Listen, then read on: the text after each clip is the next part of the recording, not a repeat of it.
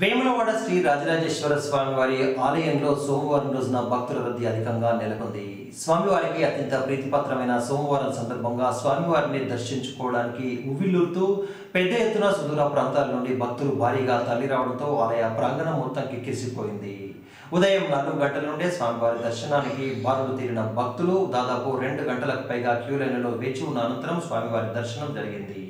స్వామివారి దర్శనంతో పాటు స్వామివారికి కోడె మొక్కలు చెల్లించుకున్న భక్తులు ఉప ఆలయాలైన భీమేశ్వర బతికొచ్చమ్మ ఆలయాలను కూడా దర్శించుకున్నారు. కాగా అనేక రోజులుగా మూతపడి ఉన్న ధర్మగుండాన్ని భక్తుల కోసం శరవేగంగా సిద్ధం చేస్తున్నారు.